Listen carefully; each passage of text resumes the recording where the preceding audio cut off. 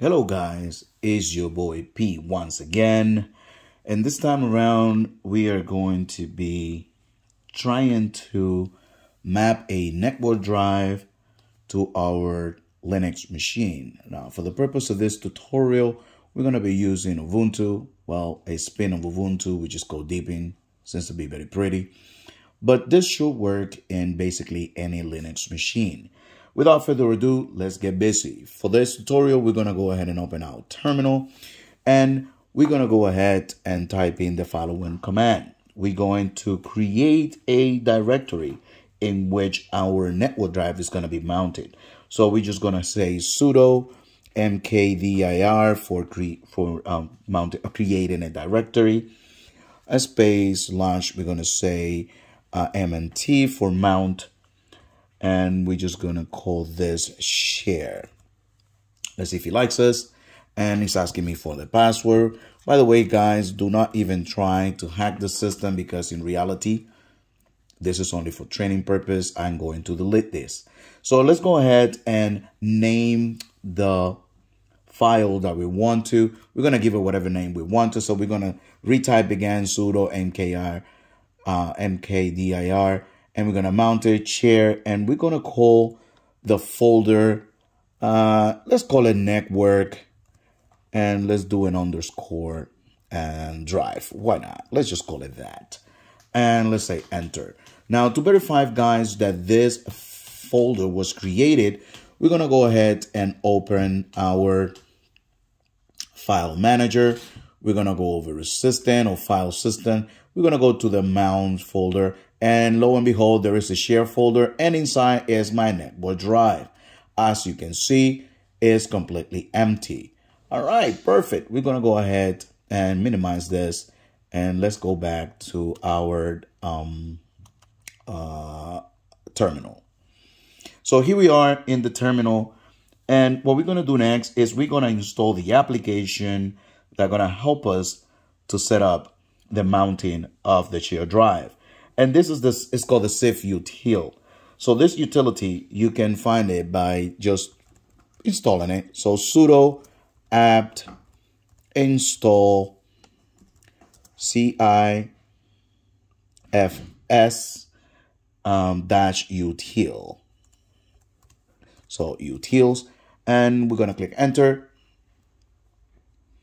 and it's telling me the app install. Of course, I did something wrong here, so we're gonna go back and I added a this not supposed to be there and awesome. I am glad that I'm seeing this error. In case you guys happens to have the same error, there you go. And as you can see, we're moving right ahead and we are installing this. So pretty much that's what it is. It's, it's that simple. Now let's go ahead and we're going to add the, the network storage perimeter uh, in which our network drives reside on the server. And for that, I'm going to enter a very long um, and tedious code here, which I'm going to share with you guys in the description below for this video. So lo and behold, you don't need to really remember everything because I'm here to help you.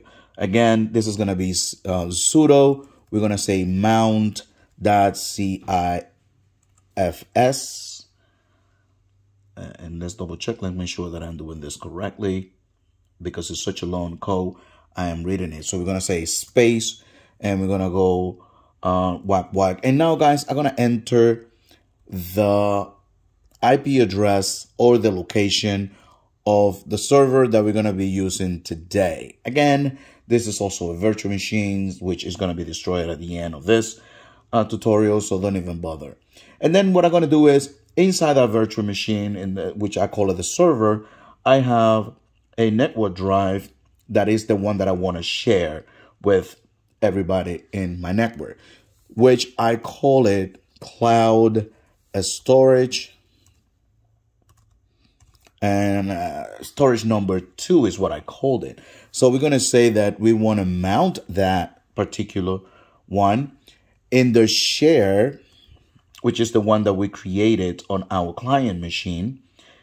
And the name that we gave to the folder was uh, network um, hyphen uh, no, it's underscore um, drive. That's what we called it.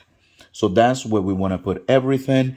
And then, of course, we're going to go ahead and give it the permission. And we're going to say username equal to, of course, well, P, Pedro.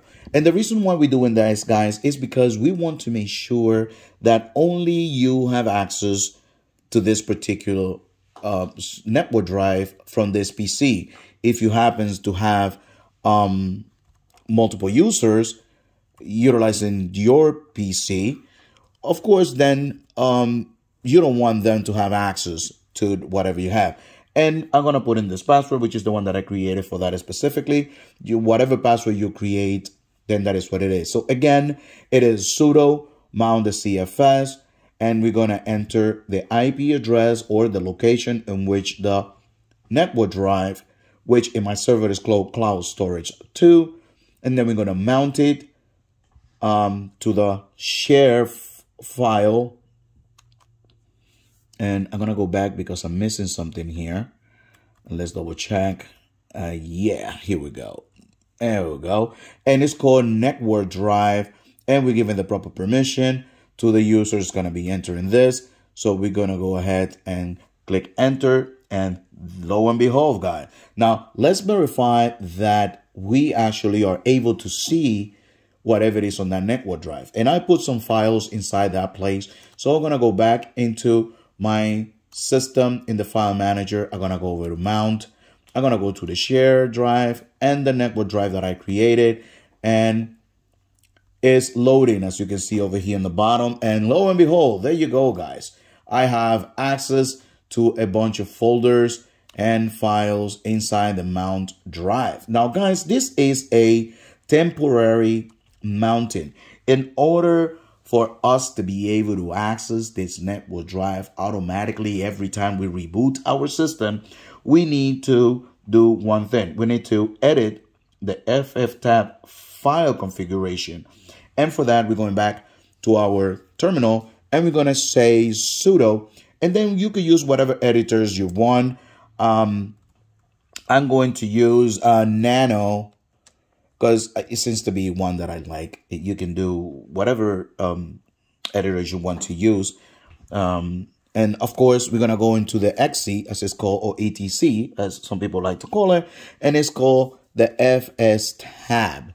And this is the place where we need. We're going to click enter. And as you can see, the FS tab config file is here. So we're going to scroll all the way to the bottom. And here I'm going to comment this out by doing a hashtag and I'm going to say um, something interesting like this is my network uh, drive or uh, even better we're going to say network share drive.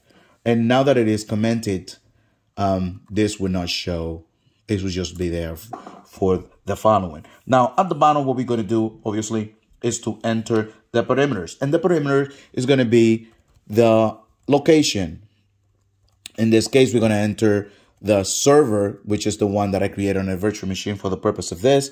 And we're going to say um, cloud um, dash storage. Guys, make sure that you enter if you have any uppercase as Linux is very case sensitive.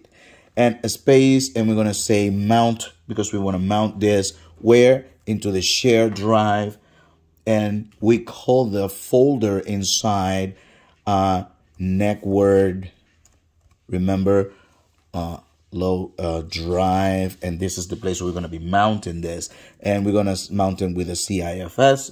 Um, and then remember to use the proper credentials. So it is username,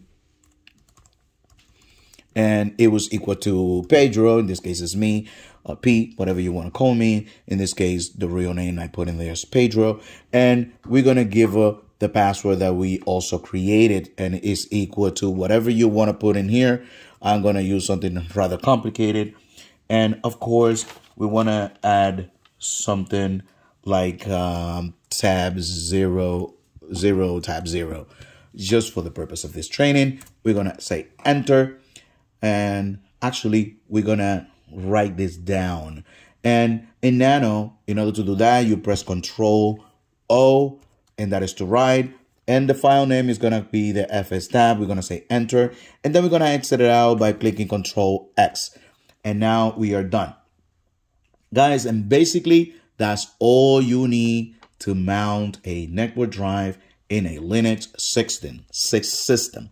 If you have any comments of anything that you want, have any issues with, just please comment in the comment section below. And like always, it's always a pleasure. Have an awesome day.